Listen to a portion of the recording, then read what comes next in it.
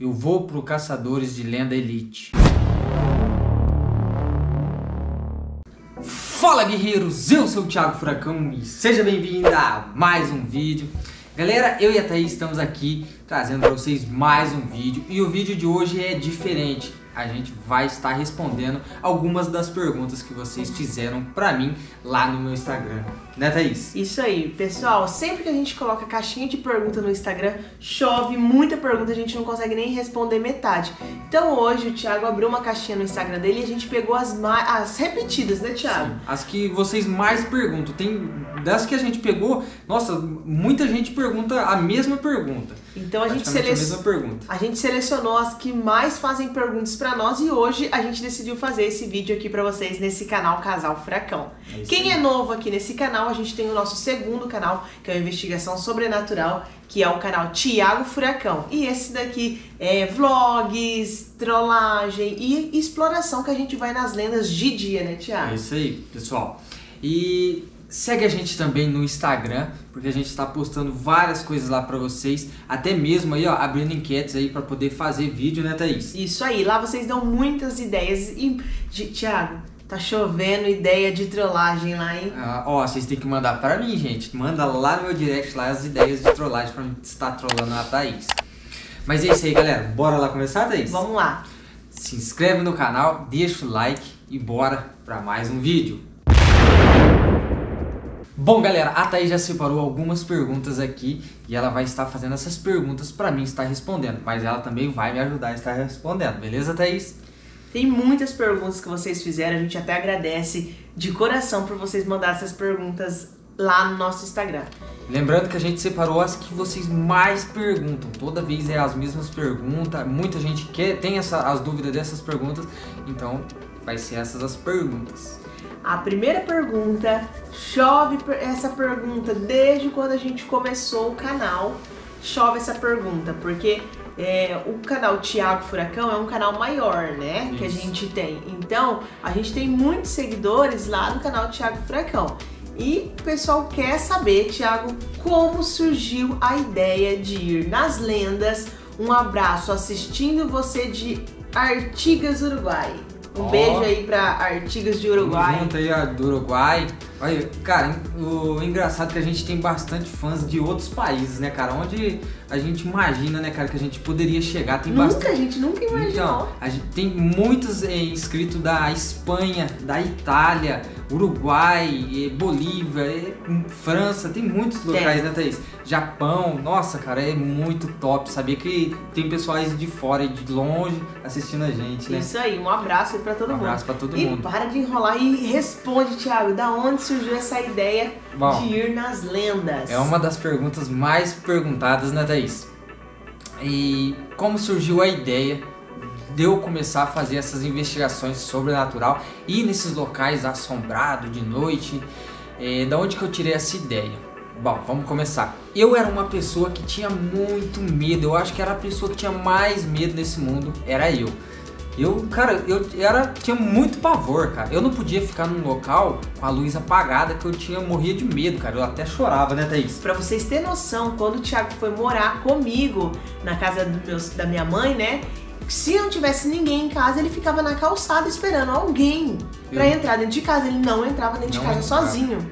Nem na sua casa com seus pais nem você na, ficava, nem né? Na minha sozinho. casa. Eu não ficava em local nenhum, nem no quarto. Suponhando, se a Thaís estivesse aqui e eu estivesse no outro quarto, é, eu não ficava sozinho. Não dá pra acreditar que agora você é um cara. caçador de lenda, hein? Eu tinha muito medo. Eu, eu falo que eu era a pessoa que tinha mais medo nesse mundo, era eu, cara. De verdade mesmo. Eu tinha muito medo.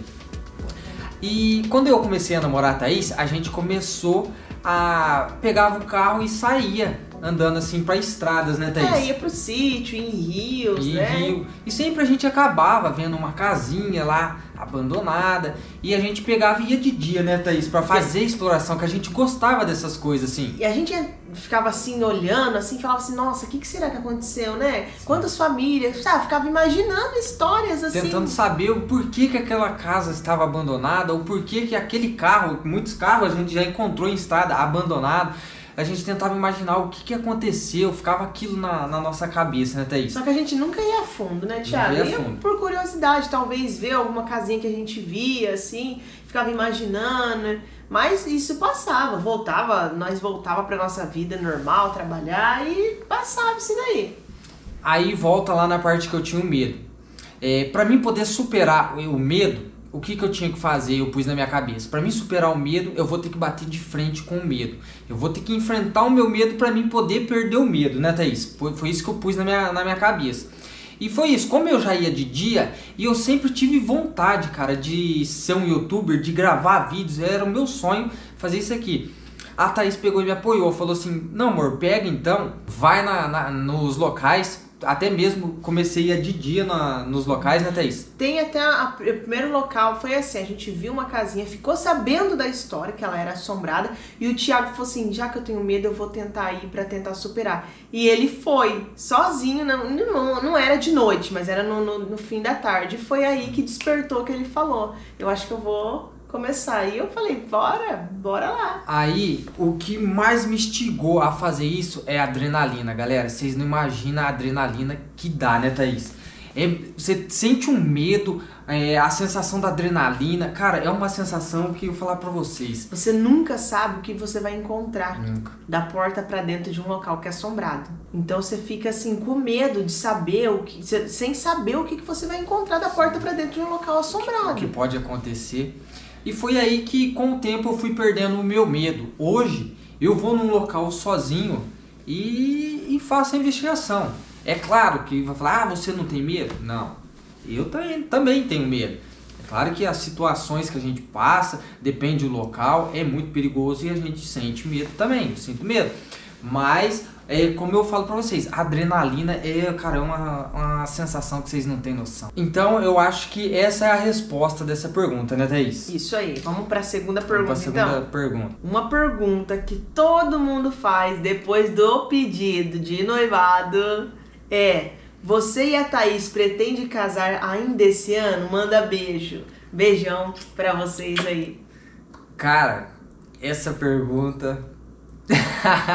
Gente, demorou 13 anos pra sair o pedido de noivado. Vocês acham que agora vai sair casamento logo assim? Tem que... Calma. Não, mas é o seguinte, pessoal. É. A gente vai se planejar, se programar pra gente estar fazendo o casamento, sim. A gente já, vamos falar, né? A gente já conversou sobre isso. A gente tem plano sim de casar, mas não agora, né? Não agora. A gente tem outras prioridades, outros planos pro momento. Mas uma hora, se Deus quiser e abençoar, a Quem gente sabe casa. o ano que vem não dá certo. Ainda Então. não tem nada programado, galera. Não vou falar pra vocês, ah, a gente já tem uma data programada, tem intenção de casar tal dia. Não, a gente não tem nada programado, mas a gente quer casar sim. Então, quem sabe o ano que vem aí, não cabe fazendo uma surpresa aí. ou ela faça uma surpresa pra mim. Vamos pra próxima pergunta. Vamos lá. Por que já não entram já com o Spirit Box ligado? Adoro seus vídeos. Essa é uma das perguntas que também perguntam bastante. Essa pergunta é. Me perguntam muito no Instagram e também nos comentários do vídeo. Por que você já não entra com o Spirit Box ligado? O porquê, Tem gente pessoal? que não, nem pergunta, já manda, né? É. Tem gente que manda lá, entra com o Spirit Box ligado. É, já a pessoa nem pergunta, ela tá mandando. Ó, você tem que entrar aí pronto. Mas não é assim, pessoal. Bom, vamos lá. É, primeiramente, a gente vai no local, a gente somos investigadores sobrenaturais. A gente vai no local para poder investigar e ver se o local realmente é assombrado. Por quê? Porque muita gente passa pra gente assim, ó. Tiago, Thaís, eu vi uma assombração. Fulano viu a assombração. Ciclano viu. A gente também quer ver. Então a gente vai no local pra investigar, pra ver se realmente o local é assombrado e pra tentar captar nas câmeras. Então a gente entra primeiro no local, vê se realmente, né, a gente consegue é, K2, né? Sim. a gente consegue ver, ouvir barulho, alguma coisa, ter a certeza que o local é assombrado, chama bastante os espíritos, chama, chama, chama. Pra gente Pra- poder ver e captar nas câmeras também, que também é o que vocês querem, vocês também querem ver, né, Thaís? Isso. E pra depois fazer um split box. Então, primeiro a gente quer ter certeza que o local é assombrado, pra depois entrar com o spirit box. Próxima pergunta. Pretende se mudar para Londrina? Por que Londrina? Por que Londrina? Porque. Londrina eu acho que é a capital dos youtubers, né? Só tem youtuber lá? Londrina só mora youtuber lá. Eu acho que metade do Brasil mora em Londrina. Verdade, cara. Pessoal, a gente mora em Marialva, do ladinho de Maringá. Deve dar uns 80 km em Londrina. 80 km. A gente vai. e Agora a gente parou, mas a gente ia muito pra Londrina, né? Sim. A gente praticamente ia dia sim, dia não pra Londrina. Então, Marialva e Londrina tá assim, ó. Uma do lado da outra. Pertinho. Quem sabe futuramente aí, né? Não tenha planos. Se gente, surgir uma ótima oportunidade. é, a gente acaba morando lá. Mas no momento, é, a gente estamos aqui em Marialva mesmo. Cidade pequena, mas estamos aqui, né, Thaís? Isso aí. Mas a gente tá em Londrina direto também, né, Thiago? Tamo lá Agora já faz direto. uns tempinhos que a gente não vai, mas a gente ia bastante pra lá. Sim. Tiago, a pergunta que não quer calar. Instagram inteiro manda essa mensagem tanto pra mim quanto pra você. Eu não aguento mais essa pergunta e até hoje a gente não respondeu nenhuma pergunta. É. Tiago, você vai pros caçadores de lenda Elite? Essa é uma das perguntas que mais perguntam pra mim no meu Instagram. Eu vou pro Caçadores de Lenda Elite. E aí, Thaís? E aí? Pessoal, o Caçadores de Lenda Elite é um projeto que o Renato Garcia fez, né? Sim. Até ele é uma grande inspiração, né, Thiago? Nossa, assim, de quando a gente começou. É, e o- ele abriu esse projeto Caçadores de Lenda Elite aí e todo mundo pergunta, Thiago, você tem que ir, Thiago vai, Thiago tenta. Olha, é 24 horas o pessoal falando isso, Thiago. Pelo amor de Deus, você tem que responder essa pergunta. Então, vamos lá. É, eu não sei muito como que tá funcionando esse Caçador de Lenda Elite. É, não sei como que vai funcionar. É, como que vai ser, né, Thaís, para poder participar desse Caçador de Lenda Elites. Então, não, não tem como responder essa pergunta com certeza para vocês. Mas seria muito da hora, hein, cara? Seria. Seria muito da hora. Eu acredito, não sei, pode ser coisa da minha cabeça, mas eu acredito que ele não vai chamar youtubers que já fazem esse trabalho.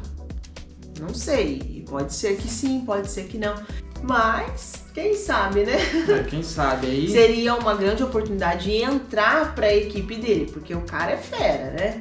Só que a gente já faz o trabalho, a gente já é, né? Então eu não sei se no caso ele chamaria o Thiago para participar, para ser um iniciante aí, né? Porque ali o Caçadores de Lenda Elite são iniciantes. Não sei se ele chamaria. Eu não sei se né, teria essa possibilidade, talvez, de se inscrever. Eu não sei se vai ter regras, provavelmente vai ter algumas regras.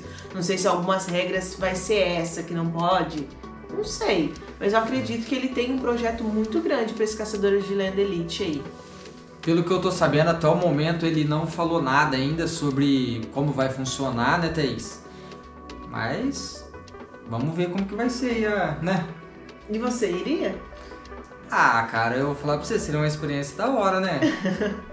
eu acho que. Bom, não sei, né? Mas eu acredito que iria.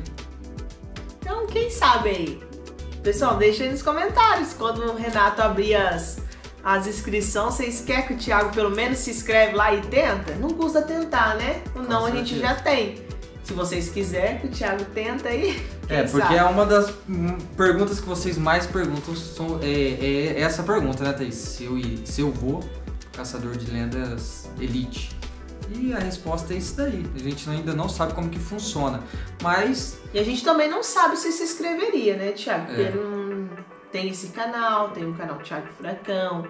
Então, não sei como. Então, por isso que a gente não sabe como que iria funcionar. Mas Mas essa pergunta, ó, é em peso, em nunca peso. se sabe, né?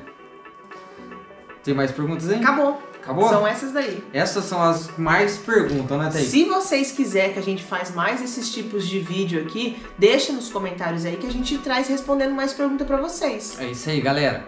É, Teve muitas perguntas lá, mas a gente separou as que vocês mais perguntavam sempre as mesmas perguntas. Espero que vocês tenham gostado do vídeo. Espero aí que as nossas respostas tenham ficado claras aí, né, para vocês da- das perguntas que vocês fizeram. Só essa última aí que não tem como a gente falar muito, né, Thaís? Porque a gente também não sabe. Mas é isso aí. Não esqueça de deixar o like, se inscreve aqui nesse canal. Vai lá no meu Instagram, não conta pra ela e manda trollagem pra mim trollar ela. Não, manda pra mim. E eu sou melhor do que você. Eu já não sou boa, imagina ele então. Ah. É isso aí, pessoal. Até a próxima, tamo junto, é nóis, falou, fui!